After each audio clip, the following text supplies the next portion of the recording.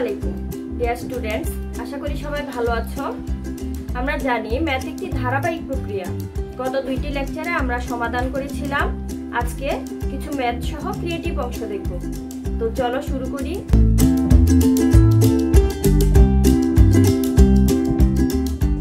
আজকের লেকচারের প্রথম ম্যাথটি দেখো। বাইশ নাম্বার, মোট একশো বিশটি পঁচিশ পয়সার মুদ্রা।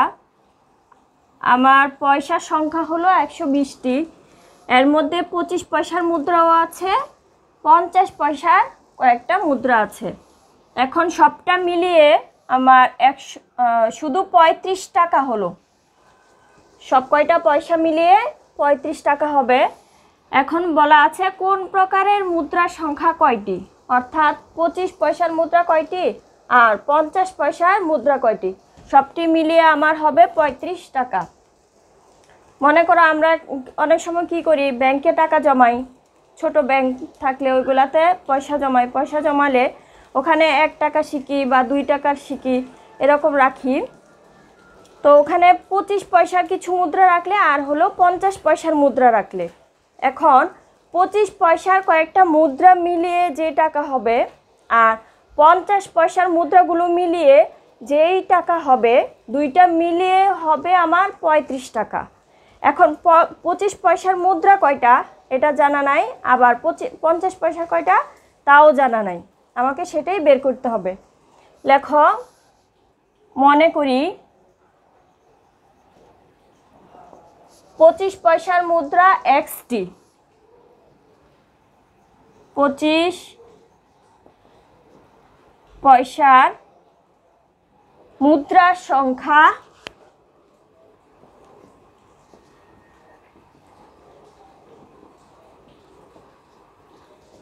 এক্সটি আচ্ছা টোটাল পয়সা আমার কয়টা? একশো বিশটি তো পঁচিশ পয়সার মধ্যে যদি আমার এক্সটি হয়, আর বাকি যা পয়সা থাকবে, সেটা কি হবে? পঞ্চাশ পয়সার মুদ্রা। লেখ, অতএব পঞ্চাশ পয়সার মুদ্রা পঞ্চাশ পয়সার মুদ্রার সংখ্যা হবে একশো বিশ মাইনাস অর্থাৎ মোট সংখ্যা থেকে পঁচিশ পয়সার মুদ্রা সংখ্যা বাদ দিয়ে দিব। একশো বিশ মাইনাস এক্স এত টি এখন এটা তো হলো পয়সার সংখ্যা বাট একটা পয়সার মান আমার পঁচিশ পয়সা আর আরেকটা হলো পঞ্চাশ পয়সা। এখন আমরা লিখব, একটি পয়সার মান যদি পঁচিশ পয়সা হয়, তাহলে এভাবে আমার পয়সা আছে কয়টা? এক্সটি তাহলে এক্সটি পয়সার মান কত হবে? পঁচিশ ইন্টু এক্স পয়সা। আমি আবার বলি, যদি একটা পয়সার মান হয় পঁচিশ পয়সা, তাহলে মোট আছে আমার এক্সটি এক্সটি পয়সার মান হবে পঁচিশ ইন্টু এক্স পয়সা। ঠিক একইভাবে একশো বিশ মাইনাস এক্স আছে আমার পঞ্চাশ পয়সার মুদ্রা। অর্থাৎ একটি পয়সার মান যদি পঞ্চাশ পয়সা হয়, তাহলে একশো বিশ মাইনাস এক্সটি পয়সার মান হবে একশো বিশ মাইনাস এক্স ইন্টু ফিফটি পয়সা। এখন এই দুইটা পয়সা মিলালে আমরা এখানে লিখব একটু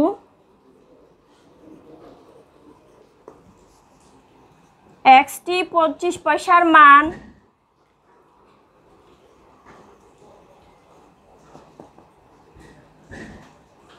এক্সটি পঁচিশ পয়সার মান টোয়েন্টি ফাইভ এক্স পয়সা। খেয়াল করবে, এখানে আমি মান লিখেছি। এবং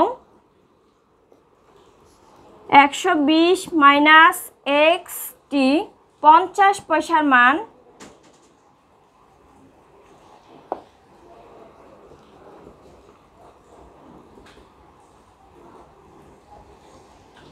ফিফটি ইন্টু এত পয়সা। ফিফটি ইন্টু ওয়ান, টু, এত পয়সা। আচ্ছা এখন দেখো, দুইটারই একক আমার পয়সাতে দেওয়া আছে। আর মোট যে টাকা আছে কোশ্চেনে সেটা আছে কি? টাকাতে দেওয়া আছে। আমরা সহজেই জানি টাকাকে পয়সাতে নিতে হলে এক টাকা সমান একশো পয়সা। তো পঁয়ত্রিশ টাকা সমান কি হবে? পঁয়ত্রিশ ইন্টু একশো, অর্থাৎ পঁয়ত্রিশশো পয়সা। লেখো, পঁয়ত্রিশ টাকা সমান, আমরা পয়সাতে কনভার্ট করব, যেহেতু সবগুলো একক আমার পয়সাতে দেওয়া আছে থার্টি ফাইভ ইন্টু একশো পয়সা। আমি পঁয়ত্রিশ টাকাটাকে পয়সাতে কনভার্ট করলাম। কি হবে? পঁয়ত্রিশশো পয়সা। এবার আসো। যে পঁচিশ পয়সার মুদ্রা যা ছিল তা মিলে যে পয়সা হলো, আর পঞ্চাশ পয়সার মুদ্রা যে কয়টা ছিল তা মিলে যে পয়সা হলো, দুইটা মিলে কি হবে? এই পয়সাটা সমান হবে। লেখো শর্ত মতে শর্ত মতে twenty five x plus fifty এত পয়সা দুইটা মিলিয়ে যা হয় equal thirty five zero zero এবার নর্মাল ক্যালকুলেশন পাঁচ বারং ষাট আর দুইটা শূন্য, আর এখানে হচ্ছে ফিফটি এক্স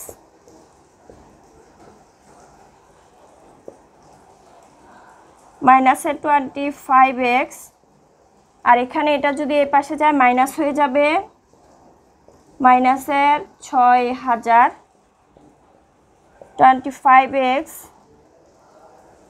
শূন্য শূন্য পাঁচ, হাতে থাকল এক, চার, পঁচিশ। মাইনাসের পঁচিশশো। দেখো মাইনাস বড় সংখ্যাটার আগে মাইনাস আছে, তার জন্য মাইনাসের পঁচিশশো। এবার আমি কি করতে পারি? মাইনাসের অংশ, মাইনাস অংশ বাদ দিতে পারি, অর্থাৎ মাইনাস ওয়ান দ্বারা ভাগ করলাম গুণ করলাম। মাইনাস ওয়ান দ্বারা গুণ করে দিলাম। সেক্ষেত্রে আমার কি হবে? এক্সের ভ্যালু হবে, অতএব এক্স ইকুয়াল পঁচিশশোকে পঁচিশ দ্বারা ভাগ করো। পঁচিশশো বাই টোয়েন্টি ফাইভ, অতএব এক্স ইকুয়াল হান্ড্রেড এখন দেখো, আমি এক্সের মান কি ধরেছিলাম? এই এক্স সমান হান্ড্রেড পেয়েছি এক্স ধরেছিলাম আমি পঁচিশ পয়সার মুদ্রা। আমাকে চেয়েছে কোন প্রকারের মুদ্রা? কয়টি? তো আমি পঁচিশ পয়সার মুদ্রা ধরেছিলাম এক্সটি অর্থাৎ একশোটি পেয়ে গেলাম, আর পঞ্চাশ পয়সার মুদ্রা হবে এক্সের ভ্যালু বাদ দিবে। লেখো অতএব পঁচিশ পয়সার মুদ্রা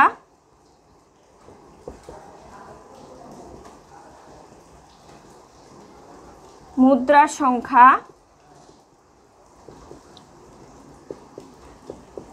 একশোটি আর পঞ্চাশ পয়সার মুদ্রার সংখ্যা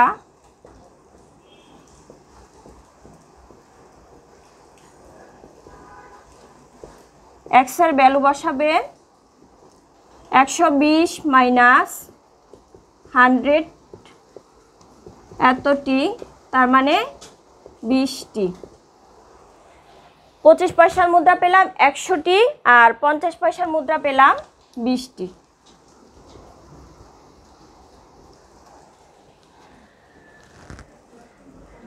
আরেকটি ইম্পর্টেন্ট ম্যাথ দেখো।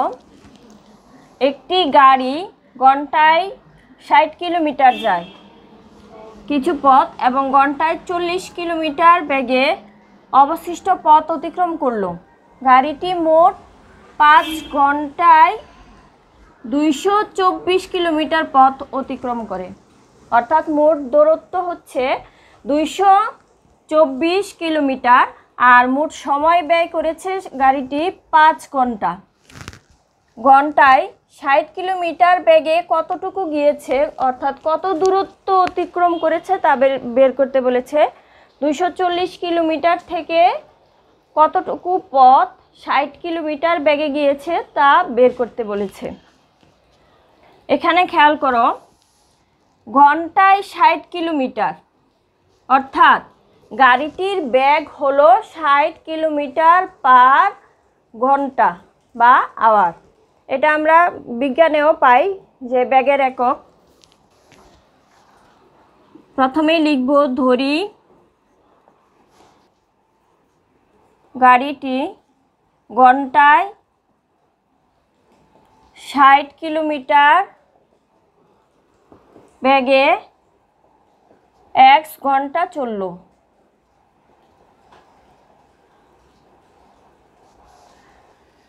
এবার বাকি পথ চল্লিশ কিলোমিটার গিয়েছে এবং চল্লিশ কিলোমিটারে আমরা টোটাল সময় ব্যয় করেছিল পাঁচ ঘণ্টা। তাহলে ষাট কিলোমিটারে যদি এক্স ঘণ্টা চলে আর চল্লিশ কিলোমিটারে সে ফাইভ মাইনাস এক্স ঘণ্টা চলবে? লেখো।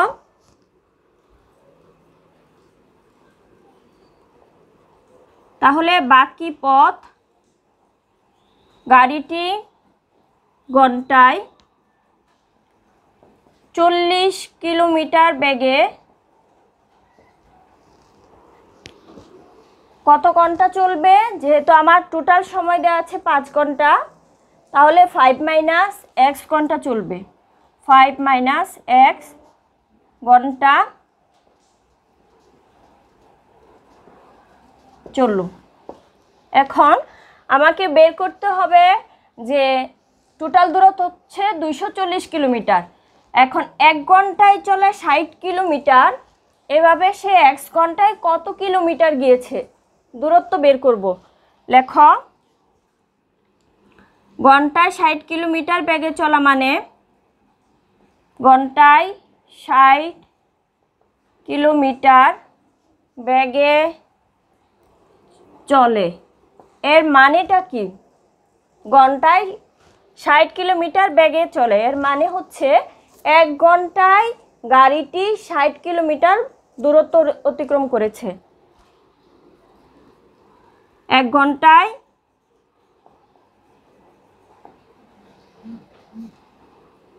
যায়।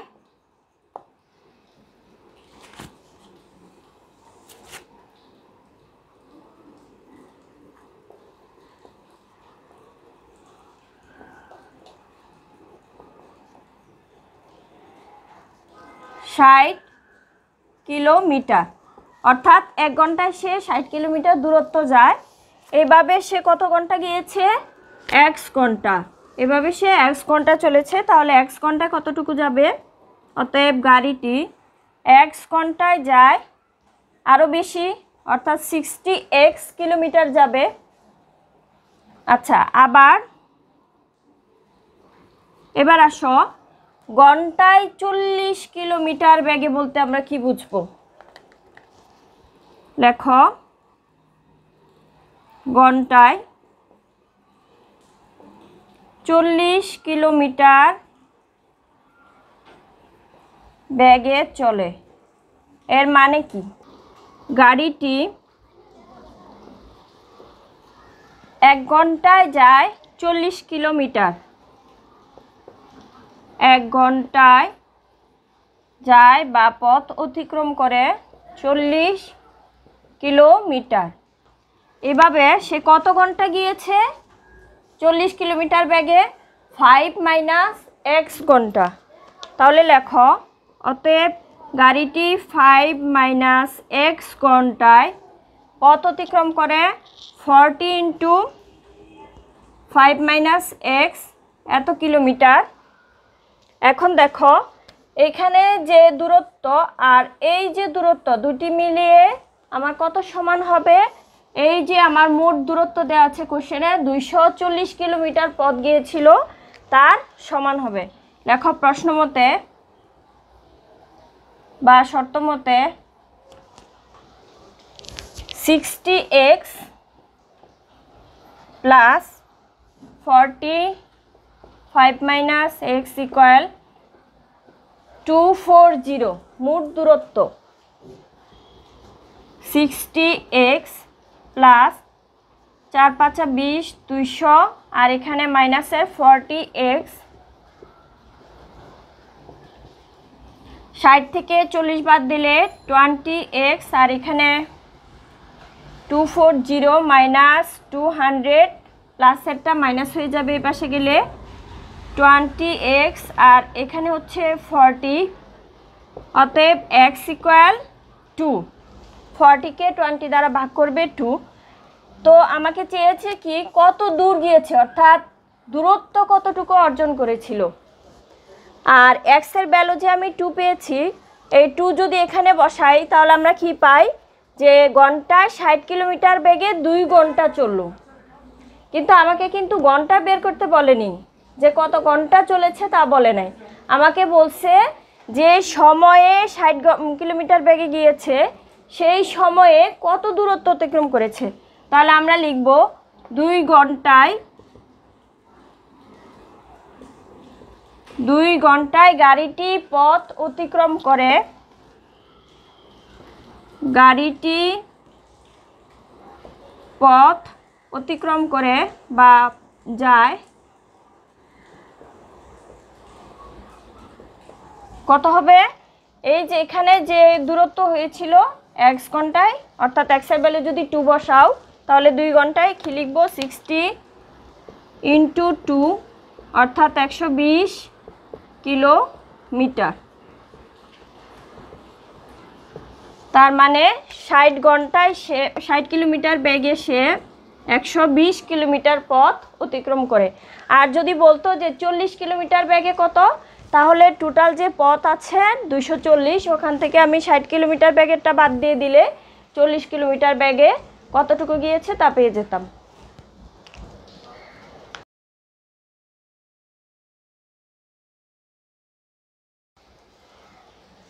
এবার আমরা ইম্পর্টেন্ট একটা ক্রিয়েটিভ দেখব। একটি স্টিমারে যাত্রী সংখ্যা আছে তিনশো ছিয়াত্তর জন। মোট আমার তিনশো ছিয়াত্তর জন আছে। এখানে ডেকের যাত্রী সংখ্যা, কেবিনের যাত্রী সংখ্যার তিন গুণ। অর্থাৎ কেবিনে যতজন যাবে, তার তিন গুণ লোক আছে ডেকের যাত্রী সংখ্যা। এবার ডেকের যাত্রার যাত্রীর মাথাপিছু ভাড়া হলো ষাট টাকা। তার মানে মাথাপিছু ভাড়া বলতে আমরা বুঝব, একজনের ভাড়া হলো ষাট টাকা। আর মোট ভাড়া পেয়েছে কত? তেত্রিশ হাজার আটশো চল্লিশ টাকা।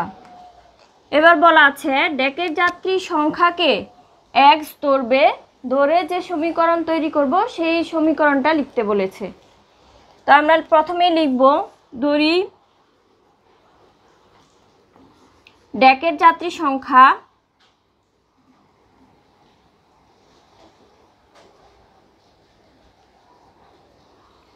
এক্স জন। আচ্ছা একটু ভালো করে খেয়াল করো, কথাটা একটু পেঁচানো। ডেকের যাত্রী সংখ্যা যদি এক্স জন হয়, তাহলে কেবিনের যাত্রী সংখ্যা কত হবে? এইখানে আমার লেখা ছিল যে ডেকের যাত্রী সংখ্যাটা কেবিনের যাত্রী সংখ্যার তিন গুণ। কিন্তু এখানে আমি ডেকের যাত্রী সংখ্যা এক্স জন ধরেছি। তার মানে ডেকের যাত্রী সংখ্যা, কেবিনের যাত্রী সংখ্যার যদি তিন গুণ হয়, তাহলে কেবিনের যাত্রীর সংখ্যা, ডেকের যাত্রীর সংখ্যা কী হবে? তিন ভাগের এক ভাগ হবে। অর্থাৎ ডেকে যতজন যাবে, তার তিন ভাগের এক ভাগ যাচ্ছে হলো কেবিনে। তো আমরা লিখব কেবিনের যাত্রী সংখ্যা, অতএব কেবিনের যাত্রী সংখ্যা কথাটা একটু পেঁচানো, উল্টা কথা একটু সাবধানে করবে। এক্স বাই থ্রি মানে তিন ভাগের এক ভাগ আবার দেখো, আমি এখানে একটু ছোট নোট করি। দেখো এক্স বাই থ্রিকে যদি তিন গুণ করি কোশ্চেনের সাথে মিলিয়ে, অর্থাৎ কেবিনের যাত্রীর সংখ্যার তিন গুণ। তো কেবিনের যাত্রীর সংখ্যা হলো এক্স বাই থ্রি এর সাথে তিন গুণ করলাম, তাহলে কি পেয়ে যাব? এক্স পেয়ে যাব, অর্থাৎ ডেকের যাত্রী সংখ্যা। কিন্তু এই কথাটা হলো একটু উল্টা। তো এতজন। এখন আমাকে বলেছে কি যে ডেকের যাত্রী সংখ্যাকে এক্স ধরে সমীকরণ তৈরি করতে বলেছে। তা আমি ডেকের যাত্রী সংখ্যা পেয়েছি, কেবিনের যাত্রী সংখ্যা পেয়েছি। মোট আমার যাত্রী সংখ্যা কত আছে? তিনশো ছিয়াত্তর জন। লেখো শর্ত মতে। সমীকরণ তৈরি করো। ডেকের যাত্রী সংখ্যা আর হচ্ছে কেবিনের যাত্রী সংখ্যা যোগ করো। পাবো কত? তিনশো ছিয়াত্তর জন। এটাই হলো আমার সমীকরণ। নির্ণয়ের সমীকরণ।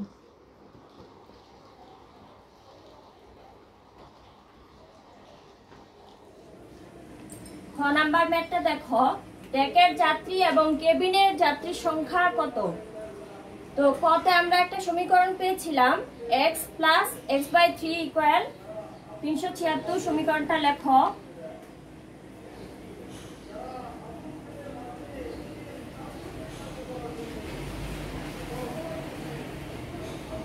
থ্রি সেভেন সিক্স এখান থেকে আমরা এক্সের ভ্যালু বের করব।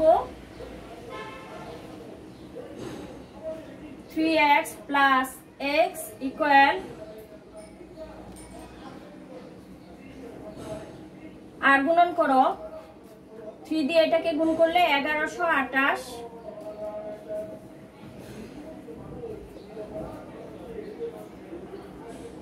অতএব x equal two eight two.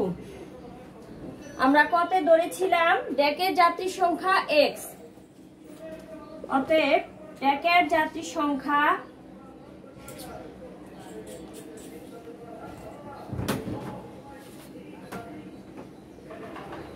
সংখ্যা x equal two eight two এত জন। আর কেবিনের যাত্রী সংখ্যা হবে, ছিল এক্স বাই থ্রি অর্থাৎ টু এইট টু কে যদি থ্রি দ্বারা ভাগ করো তাহলেও পাবে। অথবা মোট যাত্রীর সংখ্যা থেকে এটা বাদ দিলেও আমরা কেবিনের যাত্রী সংখ্যা পাবো।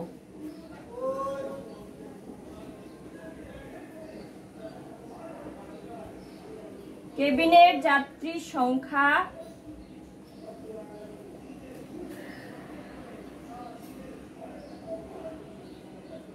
টু এইট টু বাদ দিলে নাইনটি ফোর এত জন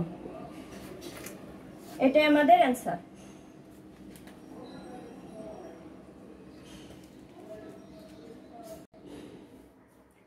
ক্রিয়েটিভের লাস্ট অংশটা দেখো। কেবিনের মাথা পিছু ভাড়া। মাথা পিছু বলতে কেবিনে একজনের ভাড়া কত নির্ণয় করতে বলেছে। আমরা প্রথমে লিখব, খ হতে পাই যে কেবিনের যাত্রী সংখ্যা এবং ডেকের যাত্রী সংখ্যাটা লিখে নিব। দেখো খ হতে পাই।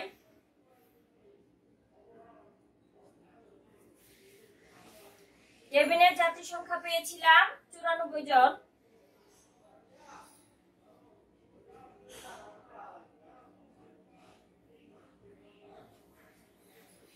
আর ট্যাকের যাত্রী সংখ্যা দুইশো বিরাশি জন।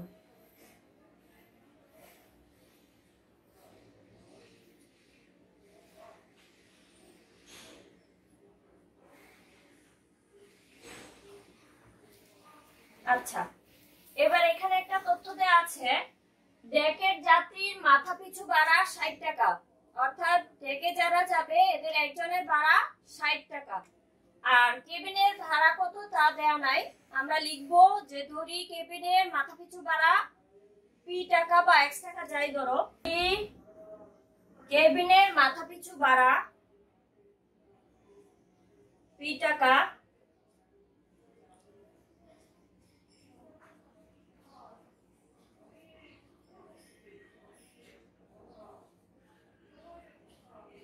একজন যদি পি টাকা দেয়, তাহলে চুরানব্বই জন দিবে চুরানব্বই ইন্টু পি টাকা।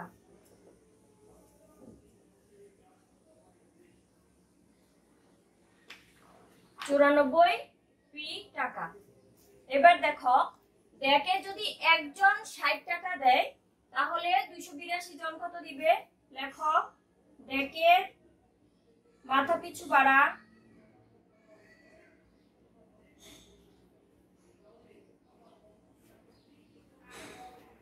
ষাট টাকা। যা আমার ক্রিয়েটিভে দেওয়া আছে, উদ্ধৃতিতে দেওয়া আছে। অতএব ডেকের দুইশো বিরাশি জনের ভাড়া। Sixty into two eight two এত টাকা। এখন দেখো, কেবিনের মোট টাকা আর ডেকের মোট টাকা, দুইটা মিলালে আমরা কি পাবো? মোট যে ভাড়া পেয়েছিলাম সেই টাকার সমান। লেখো শর্ত মতে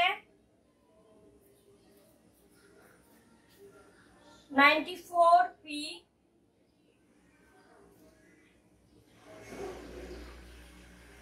ইকুয়াল তেত্রিশ হাজার আটশো চল্লিশ।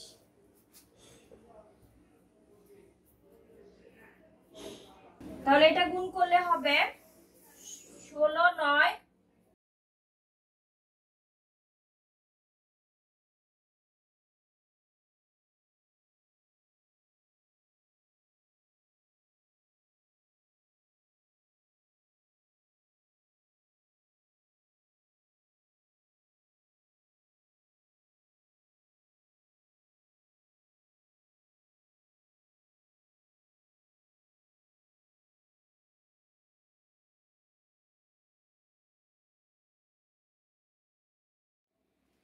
এটা থেকে এটা বাদ দিলে ষোলো, নয়, বিশ।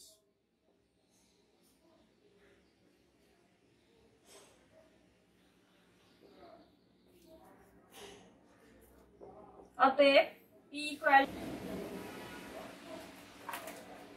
আমরা পি ধরেছিলাম কেবিনের মাথা পিছু ভাড়া। আমাদের কোশ্চেন চেয়েছে কি? কেবিনের মাথা পিছু ভাড়া কত? হতে কেবিনের মাথা পিছু টাকা।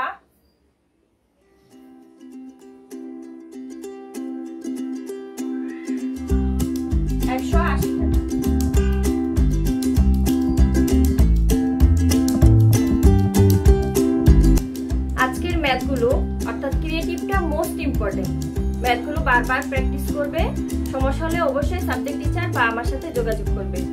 স্ক্রিনে দেখানো ম্যাথগুলো আমাদের হোমওয়ার্ক থাকবে